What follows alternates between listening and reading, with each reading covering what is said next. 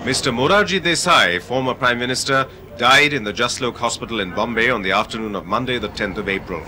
His mortal remains were consigned to the flames with full state honours in Ahmedabad this Wednesday.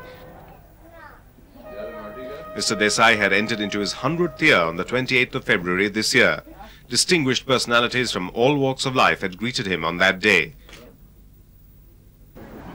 The body of Mr. Desai was brought to the Vidhan Bhavan in Bombay, where it lay in state till Tuesday to enable the leaders and the people to pay their tributes.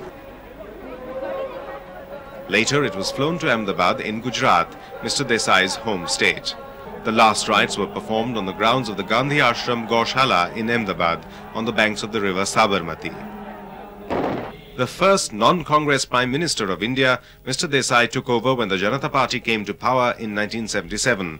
But he had to resign from office in 1979 due to internal squabbling among the constituents of the ruling party, after which he announced his retirement from active politics. Mr. Morarji Desai's colleagues and associates recall him as a Gandhian who scrupulously balanced precepts with practice. I worked very in very close contact with Morarji Desai. I knew him as a man of principle, a man of firm conviction. Morarji Desai was a true Gandhian. Gandhian in the sense that he imbibed the principles Mahatma Gandhi preached during the freedom struggle. Morarji Desai only did not preach the principles, but he lived up to those principles.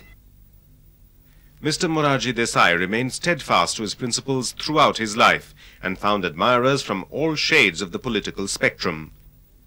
I was certain that he would certainly complete his century.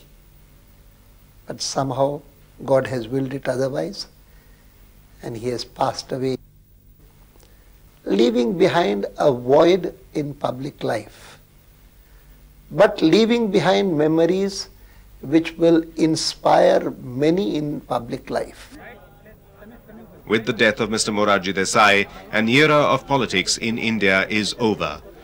He was among the last surviving leaders who represented the continuum between the freedom struggle and the decades of independence.